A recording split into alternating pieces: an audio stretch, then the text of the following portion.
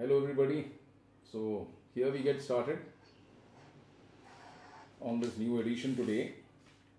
I will start from where I left on the last occasion. On the last occasion, I spoke about a specific state of mind fraudulently. Now, carrying forth from where I had left, today I intend dealing with another state of mind dishonesty. Now, what do we understand? A basic understanding of what is being dishonest is very different from the manner in which it has been defined and interpreted as a provision within the Indian Penal Code.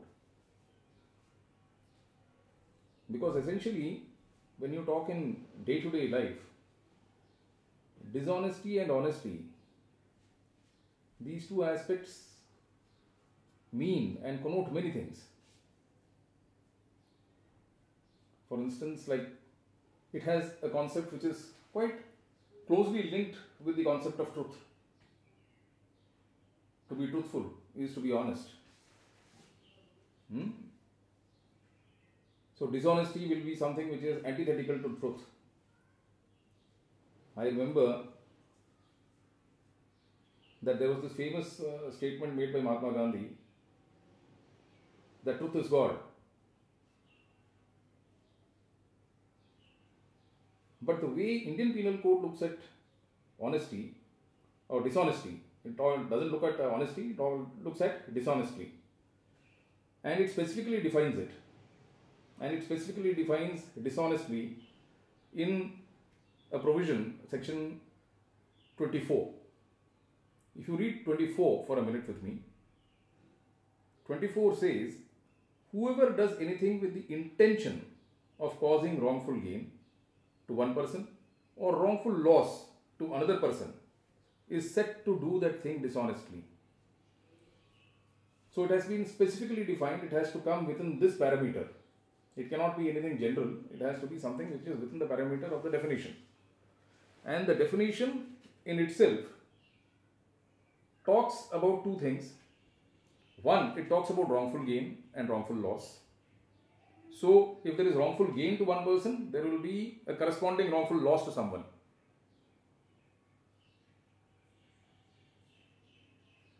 And there has to be this intention of causing that wrongful gain or wrongful loss to someone. So, the element of intention, mens rea, so it will be dishonest only if that mens rea is there. So obviously, we when it talks about wrongful gain and wrongful loss, when we look into the provisions, we find that wrongful gain and wrongful loss is also defined. So when we move on to the definition of wrongful gain and wrongful loss, as we see in sections 23, 23 talks about wrongful gain and wrongful loss both.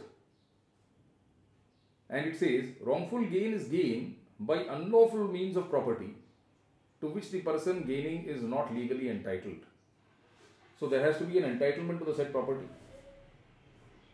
And the loss which is being caused has to be caused by unlawful means. Similarly, wrongful loss talks in terms of wrongful loss is the loss by unlawful means of property to which the person losing it is legally entitled. So, in one, as far as wrongful gain is concerned, the person gaining is not legally entitled to gain it, and as far as loss is concerned, the person losing is not legally entitled as far as the loss is concerned. He is entitled to that particular aspect which he is losing when you look at it in that sense. It goes further and talks in terms of gaining wrongfully and losing wrongfully, which also we need to go through. It says a person is said to gain wrongfully when such person retains wrongfully. Now I pause here for a minute. Now, dishonesty is essentially a definition which is embracing all these aspects. When I say it is embracing all these aspects, it talks about retention also wrongfully.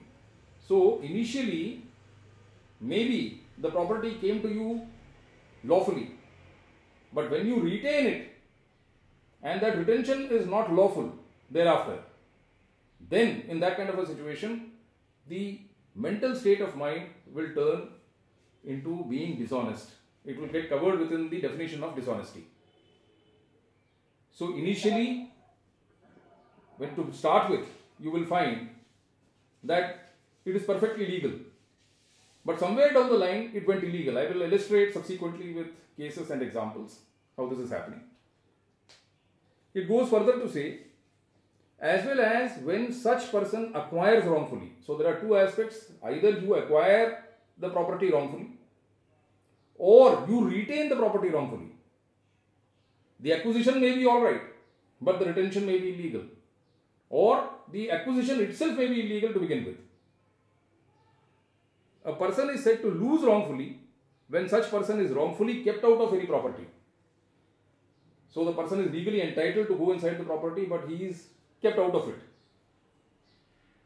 Again, dishonest. As well as when such person is wrongfully deprived of the property. So, one essential thread which all of you will notice within this section 23, which essentially is then thereafter moving into section 24, is this that there is the element of property which is pervading everywhere. Anything that is being told, spoken, or anything that is being done, the state of mind, the intention, the mens rea, all has to relate in relation to deprivation or acquisition or retention of property. Now that is a basic feature in terms of dishonesty out here. So that is why I said the dimension of dishonesty has been curtailed as far as the IPC is concerned. It does not have that vast dimension which you think of. Here it is an inbuilt situation is there where the element of property is linked with the intention. Now, in relation to this, certain aspects which I would like to deal with, there is a very interesting case way back which will illustrate some aspects of what I just said. It's a judgment by the name of A.M. Yusuf versus King Emperor. 18 Allahabad 88 for those of you who are interested in the citation. In this, what had happened as far as the case was concerned, the facts were this that there was a debtor creditor relationship, a kind of money lender in a village. You all are aware because money lending happens in villages and especially in trying times, it becomes essential also. The kind of trying times we are passing today. So it was somewhat like this at that point of time where money had been loaned and the debt was not coming back. Of course, you know how money lending happens, you know, the interest component generally starts accumulating and the interest becomes more than probably the principal. And for the money lender, as they say, सूद ज़्यादा प्यारा है मूल से that's a very old saying. He's more interested in the interest than in the principal. So, in that kind of a scenario, where money had been credited and the debtor was finding it difficult to repay, the creditor one day decided that there is one method by which I can do this. This fellow has got bullocks and a bullock cart. So, why don't I go to his place? And I don't intend ultimately to deprive him because ultimately he earns his living by plying the bullock cart. But I, in order to teach him a lesson, let me deprive him of the same. So he takes away the bullocks and the cart and walks off. Now, when this issue came up, a case was registered, and here the court, when considered the issue, said that look, the deprivation, maybe the ultimate intention was not to take away the bullock cart and the bullocks permanently, but temporarily for that period there was a deprivation. It fell within the ambit of this definition, which I was just talking about, that even when you are temporarily depriving the person, there is a wrongful loss being caused to him. And therefore, that wrongful loss, though temporary, will cover it within the act of dishonesty. So these are these interestingly most of these principles which you find elucidation of, it happens during the course of human relations and probably that is how this act also developed. How these states of mind found expression in the way of these definitions essentially came from the reflection of what used to happen in society and how things over a period of time brought in a situation like this. Now, speaking further, before this, because the last uh, lecture which we had essentially concentrated on another state of mind which was very closely linked, and that was fraudulently and dishonestly. I spoke about fraudulently on that occasion, and when I spoke about fraudulently on that occasion, I had to a great extent also said this that these two states of mind are used normally in many sections juxtaposed with each other, but they are used alternatively. To make out an offense, you will find it says fraudulently or dishonestly. So, therefore, it is juxtaposed but used alternatively, which means that each one of them has a distinctive meaning which is somewhat different from each other. Now, when I say that, I would I am reminded of a scenario at the time when I had discussed fraudulently, I had said that there there is a basic element which goes in making out the aspect of fraudulently which is somewhat different from that of dishonestly and that element is that of the element of deceit. One deceit coupled with injury. These are two things which I had emphasized upon on the last date of hearing. Going further from there, to try and explain and bring out the difference a little more in stark contradistinction. There is one case by the name of Queen Emperor versus Abbas Ali.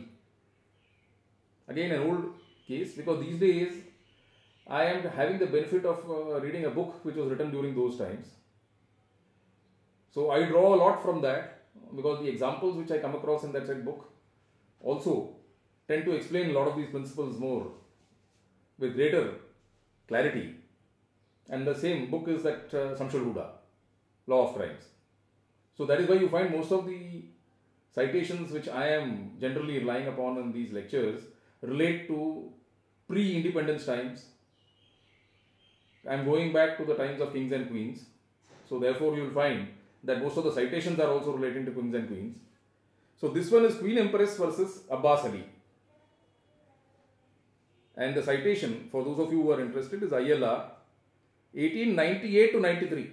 You see, there is a bracketed citation of 1898 to 93. They have more or less annotated the uh, cases which happened around that period.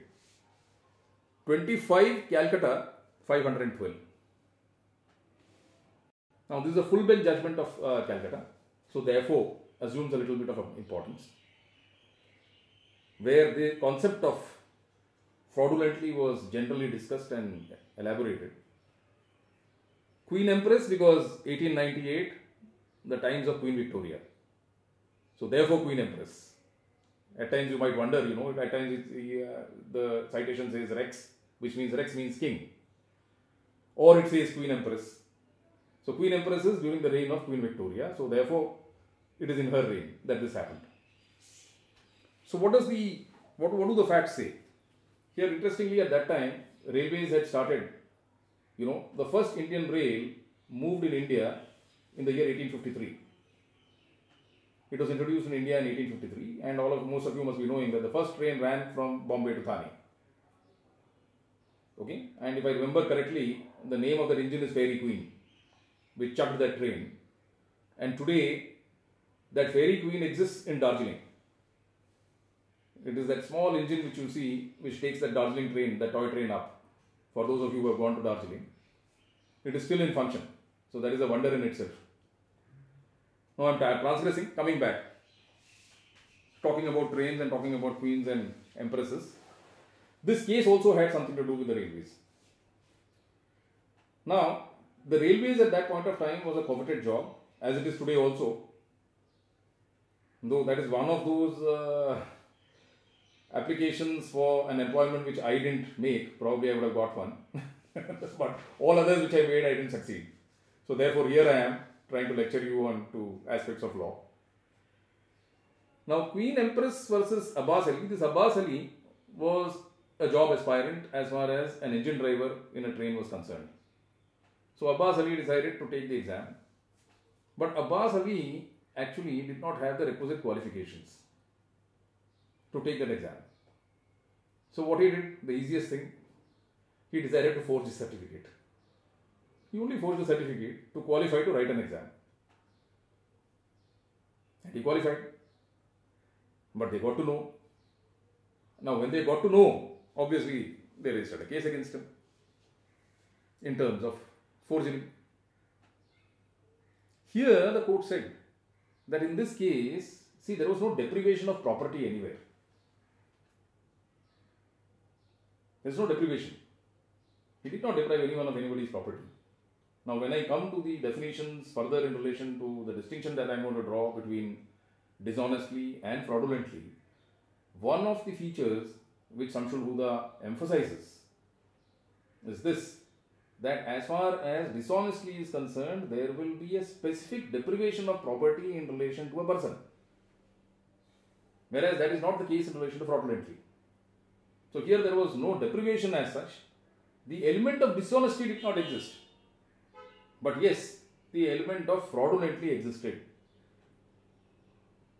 So then, what essentially is this difference? So when we go to that, we find that it is a threefold kind of a scenario, a threefold parameter.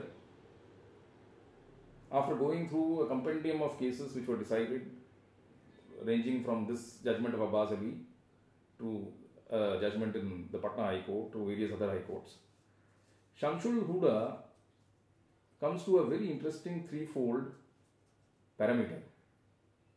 He identifies three things and when we talk about those three things, it brings in more clarity to the concept as we understand it. This threefold distinction which he has more or less found, the first one is that fraud necessarily involves the aspect of deception. Deception is inbuilt into it.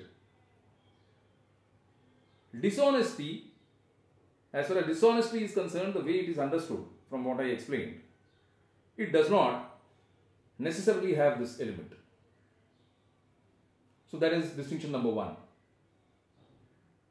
Number two, he says that as far as dishonesty is concerned, dishonestly involves the idea of injury to property. It is having that element in mind and it also has within its parameters injury of any sort, property and any other sort which is also defined to the extent that in relation to mind, reputation or body. So there is this element in terms of property, injury in terms of property which is a distinctive feature.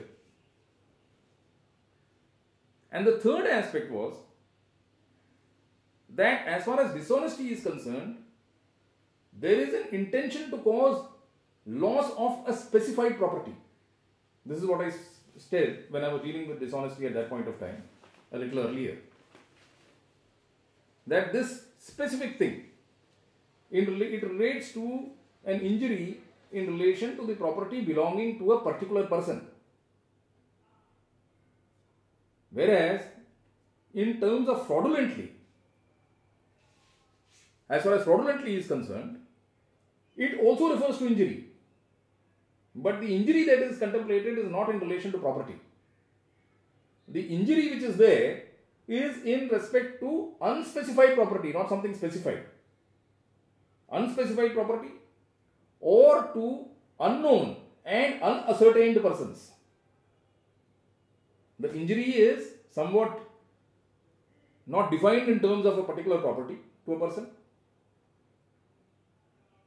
It is more generalized in nature. So that is the distinction which Shamsul Huda draws to bring out the difference in the both these concepts of dishonesty and in terms of fraudulently. Now, going a little further, when we are talking about states of mind, having dealt with two specific states of mind, because I dealt with them a little in greater detail, reason being that you find that in relation to offenses in relation to property, there is an entire chapter. These two expressions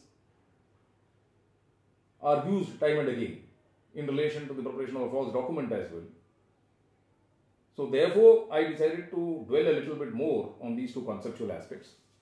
From here on, I move to something which is also a state of mind and a state of mind which is somewhat all-embracing. Now here is a definition, uh, here is a state of mind which I will be talking of, which takes within its embrace three basic things which I have been talking of over a period of time in the various lectures that I have given. It talks about intention, it talks about knowledge, it talks about reason to believe. All three encompassed in one word. That is the beauty. One word which is signifying all the presence of all these, these uh, components. When that word is used, it means that all these three things are inbuilt into that definition. For that, you people kindly revert to section 39 of the Indian Penal Code. Section 39 talks about voluntarily. Now, when we use that word voluntarily, it encompasses all these three states of mind.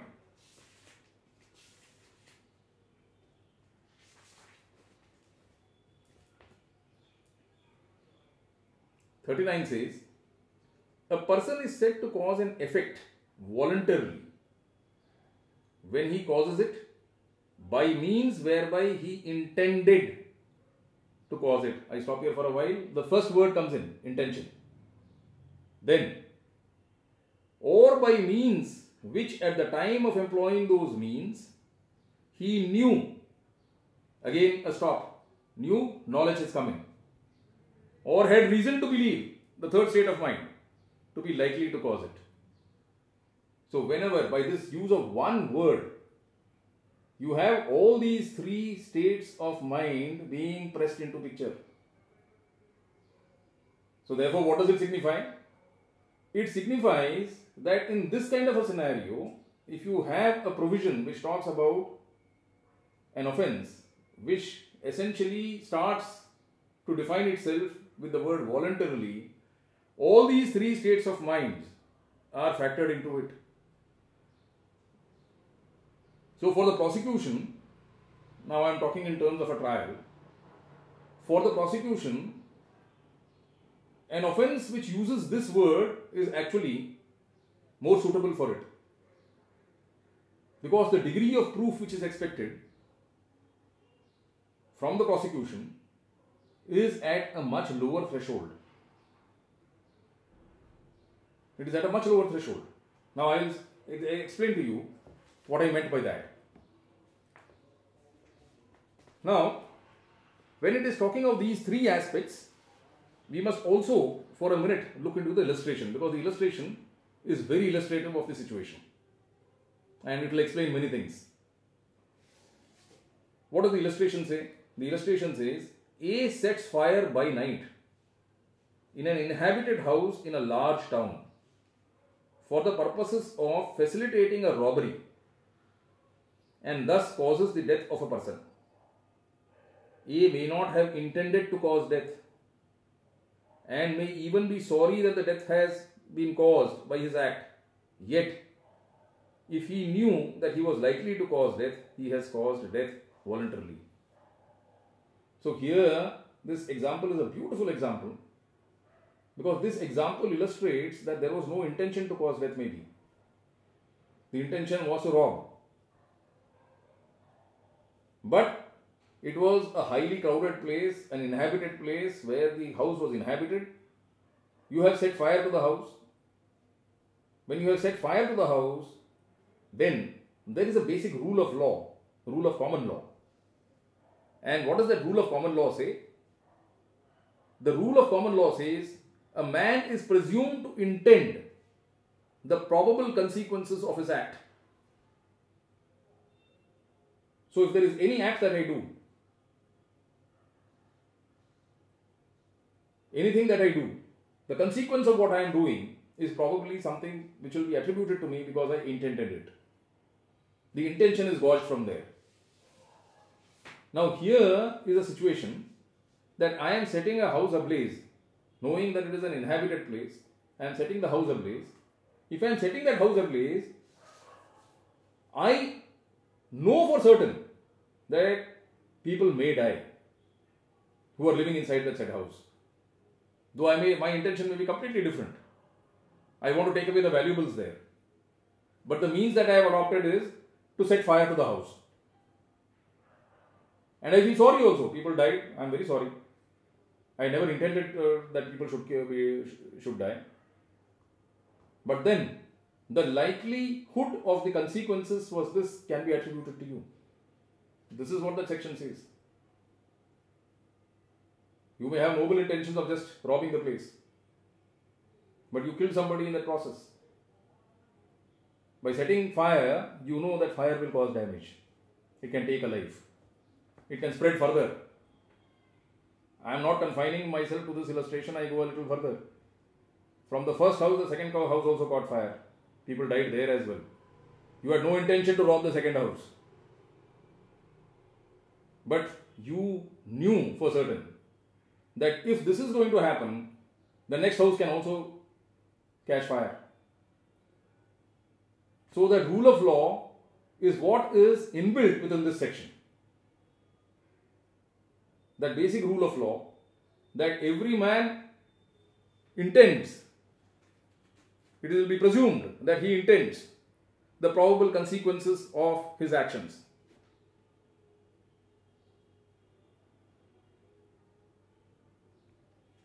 This is just like, you know, your karma, the theory of karma. That your actions will produce a particular reaction. So, this is in a way the theory of karma being built into this. Now, having talked about the illustration, I go a little further.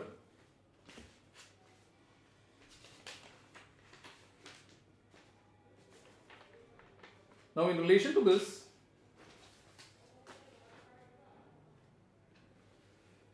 because intention and knowledge these were two things which i had discussed in an earlier lesson as well. Intention and knowledge again are such concepts which may take color from each other. Though they are different states of mind they may take color from each other. And how, in a way, knowledge to a certain extent can also be evidence of the fact that this was your intention. It could be a scenario like that as well. So, what exactly would be the distinction that you can draw between these three aspects which are embraced by this provision that is knowledge, intention, and reason to believe? Now, in relation to these three aspects, as far as intention is concerned, intention essentially is a state of mind which is in relation to a fixed purpose to achieve a particular object. It is when the mind is moving in such a direction that it wants to attain a fixed purpose. There is a desired objective, that fixed purpose, that desired objective, the mind is moving towards attaining that.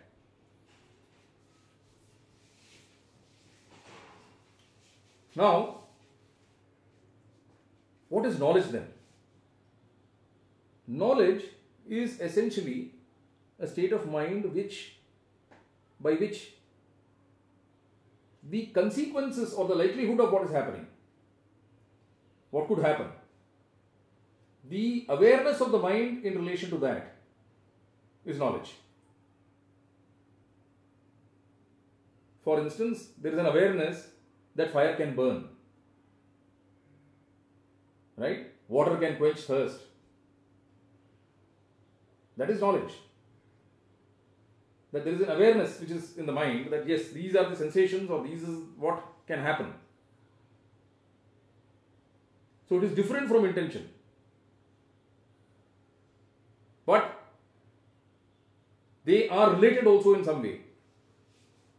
They take color from each other and they are related also in some way. There was a third state of mind which I had spoken at that point of time, which also becomes relevant, and that is motive. Motive was completely different. It is completely different because it is that spring or it is that aspect which impels a state of mind or which you know brings about that intention to be formed to achieve that objective. It is that that impetus. So therefore, but what is punishable amongst this? What is punishable amongst this is that if there is that intention is criminal in nature, that criminal intention will get will become punishable. So these are the fine distinctions which are in a way embraced by this word voluntarily when it comes. All three of them. And that is why I said that it is much easier for the prosecution when this word is used in a definition to prove its case because the level of and degree of proof which is required is of a lesser order. They can show that yes, this was the consequence which could have resulted from this act. A natural consequence. And this ought to be presumed as far as he is concerned. Then the presumption will start getting operating. Will, will, start, will start operating. So it becomes easier as far as the prosecution is concerned when this word comes into play. Now, going a little further,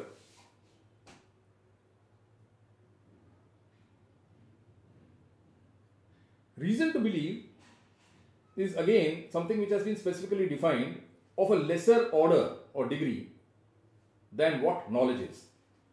And you will find this definition in section 26, if I am not mistaken. I have a, let us come to 26, reason to believe. A person is said to have reason to believe a thing if he has sufficient cause to believe that thing but not otherwise. So, reason to believe brings in that element of a sufficient cause to believe. So the circumstances should be such wherein this presumption could be drawn that there was a sufficient cause. If that those circumstances do not exist, then it will not fall within the parameter of reason to believe. So these states of mind, I am dwelling on these states of mind deliberately. There is a deliberate attempt to dwell on these states of mind because they explain a lot of things.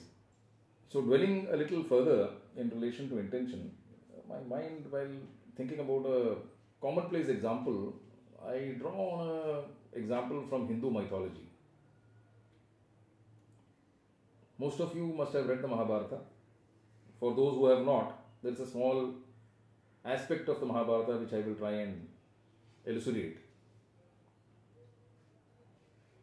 in the Mahabharata, which was essentially a war between two families, two clans within a family, the Pandavas and the Kauravas, all of you know about that.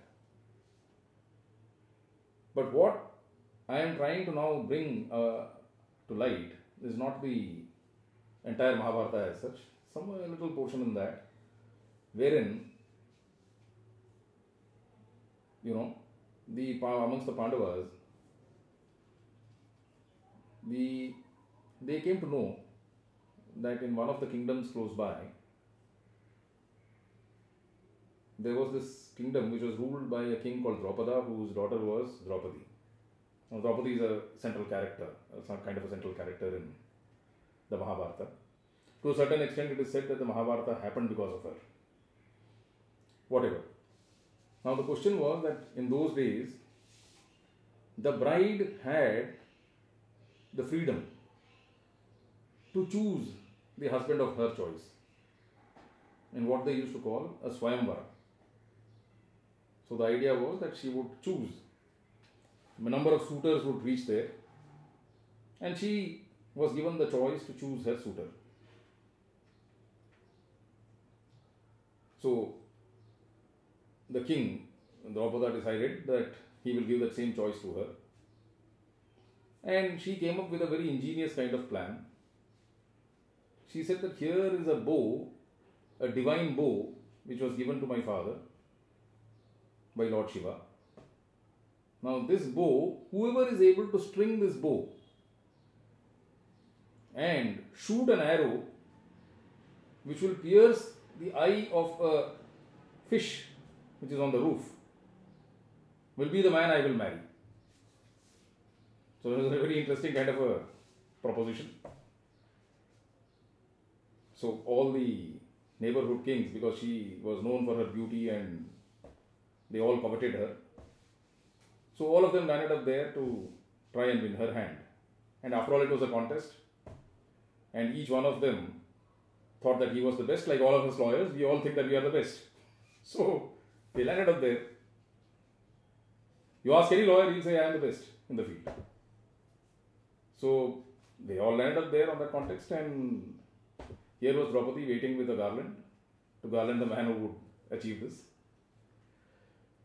Now, when this happened, so did landed Arjuna along with his brothers. It's a different thing as to how polyandry happened subsequently. I am not on that tale. I am concentrating here as to what happened in that event. So when they came there, here is the first concept. What was the motive? The motive was to win the hand of this beautiful girl. That was the motive which everyone had. They came with that motive.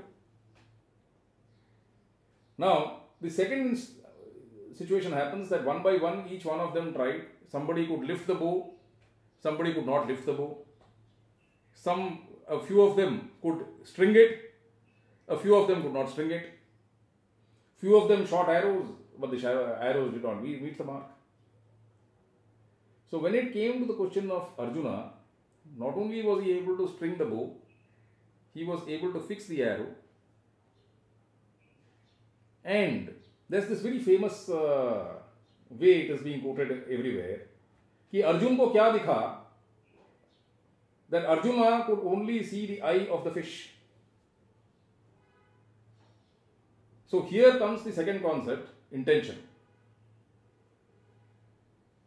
The second concept, intention, because the intention was to shoot the eye of the fish. The mind was attuned to a particular purpose, impelled by the motive. The motive was I will win this girl's heart. I will, I will take this girl as my wife. I will garland her. She is waiting with the garland. But it impelled the intention, and the intention was that the mind was impelled to an action to shoot the arrow right at the eye of the fish and nowhere else. So the arrow got strung and the arrow met its mark. Right? So this explains intention. But interestingly, the third aspect, knowledge. All those king, all those kings and princes who came to win that hand of that beautiful girl had knowledge of what fact? That if you are able to string the bow and if you are able to release the arrow and if it meets the eye of the fish, we will win the hand of this girl. So that was knowledge. And the fourth element, reason to believe. The circumstances were such. If you see 26, what does 26 talk of? I just read about 26. 26 said, when we revisit 26, let us revisit 26 for a minute, it will also be explained by this very uh, example. Now let us see 26. 26 says, a person is said to have reason to believe a thing if he has sufficient cause to believe that thing but not otherwise. So there was sufficient cause to believe that if the arrow met its mark, then in that case you will win the hand of this girl. So all these concepts get explained by this simple example from the epic, which is worth reading. Now I go a little further while talking about these concepts. Motive and intention, you see, need not coincide. The motive may be very good, hmm, but the intention will be completely different. And it can result in disastrous consequences. Now, there was one case, again, and this is now going back to the emperor's time. It says Emperor versus Raghunath Rai. 1892 15, Allahabad, page 22. Now, in this matter, what had happened was, as we are seeing in today's times also, times are changing, but those times it was also a somewhat a different societal setup. And most of the cases there very freely use the words Hindu, Muslim, and things like that. So these were these were those times. So here were two neighbors who were residing close by, and it was Eid was approaching. As you know, Ramzan happening now.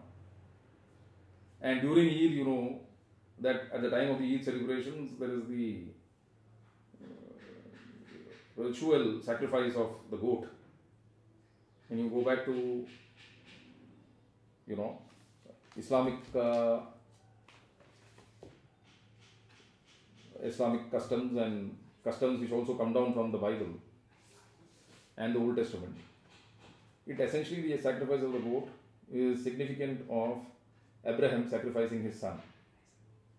It is said that in the Testament, God was testing him and wanted to know what is the limit till which he could go. So he asked him. Abraham said that God, I can go to any limit. He said, All right, I want the head of your son. So it is said that at that point of time he was going to sacrifice the head of the son. He had lifted the sword and it was he was about to strike, and that is the time when God intervened. He said, Your intentions are clear.